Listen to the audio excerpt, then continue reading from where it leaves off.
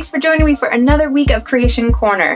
Now, if this is the first time that you're tuning in, I want you to make sure that you go back and watch the counter with a backsplash video because that goes into more detail the techniques, the building techniques that I'm going to be using in this week's design. So we're doing a counter with a sink, and if you're getting a little bored of these kitchen type things, just know we're building up to something. Next week, we're going to put all of these things together, and I think you're going to like what we're going to do.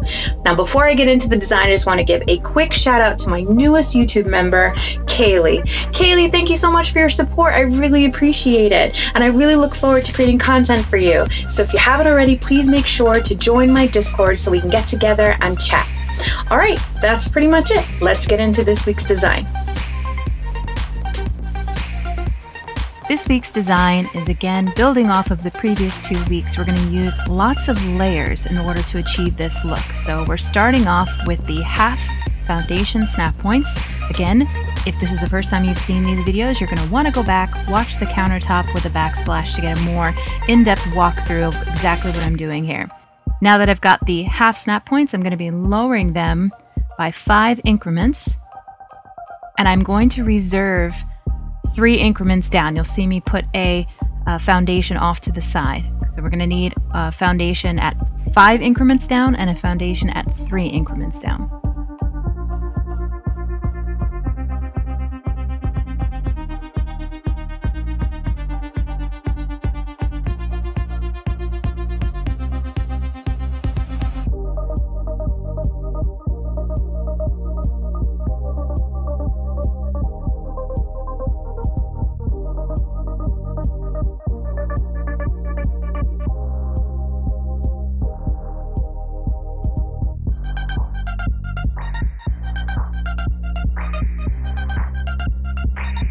So let's place the double door and then put in a foundation, the three incremented foundation.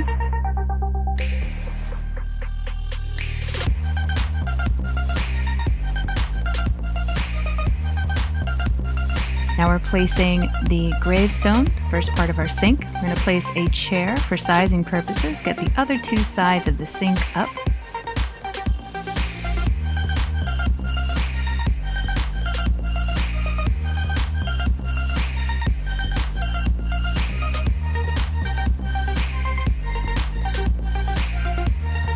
We're going to place our pipe. Now FYI, I ghosted and I was successful this time to remove the chair, but later on I was not.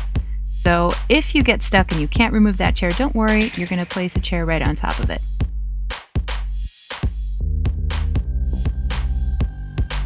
Place a crop plot to raise the chair, and then put the back of the sink at that same height. Place in a foundation at the normal height, add in our back wall and our backsplash.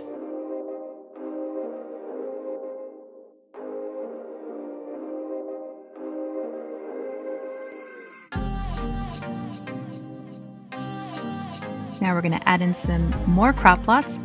That's two on each side to raise our boxes. Four boxes in total, two on each side to make our counter.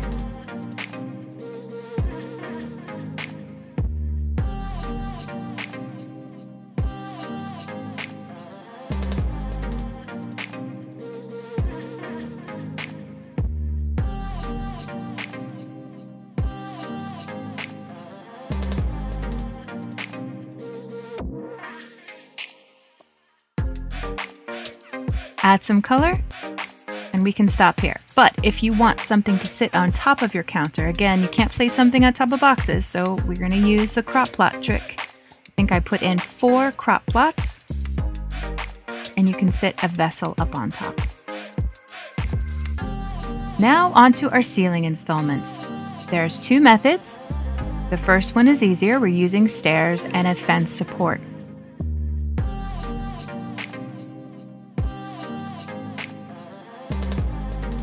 Because we're dealing with a slope here, I needed to use crop plots to raise up my gravestones.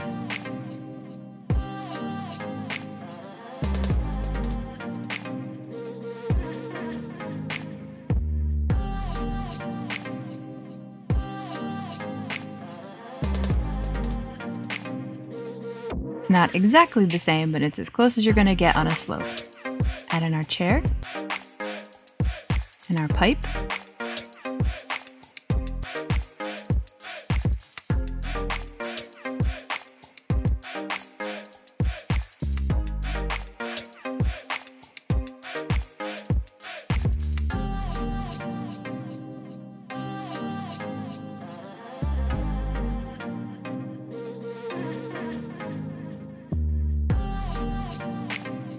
Replace our ceilings at the correct height.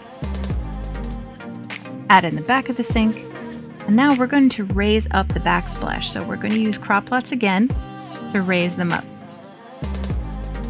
I think I needed six here, but if you place them close enough together, you can get away with four. That's two on each side stacked.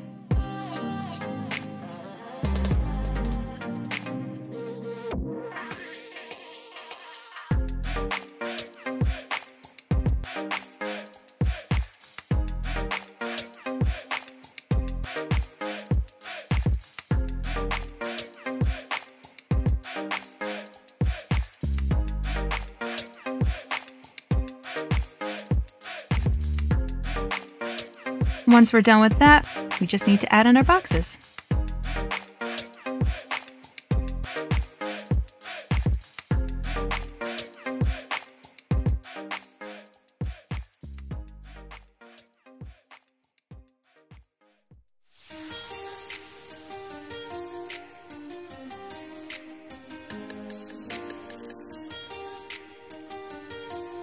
Next technique requires the use of pillars and ceilings to get incremental height on ceilings. It's, it's, it's complicated what I did, so I'm just showing you reminders, but you're going to want to go back and watch the countertop with a backsplash. Because again, it's the same measurements. If your build is the same as, it as I have here, which is six walls high, and you've got your uh, second floor three walls up, then this will work for you. But again, you can just do your own measurements.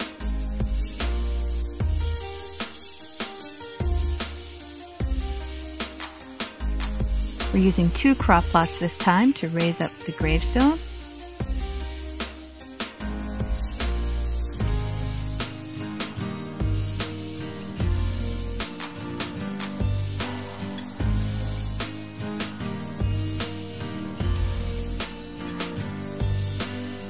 Add in your pipe.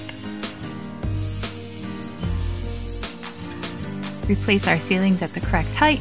Add in our final chair Add another crop plot to raise up the back of the sink.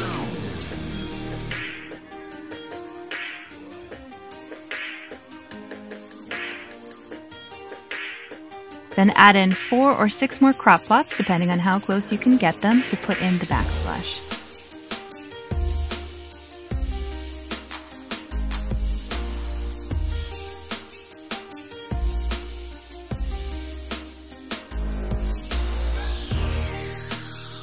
Then we just need to add our boxes and hook up our water and color.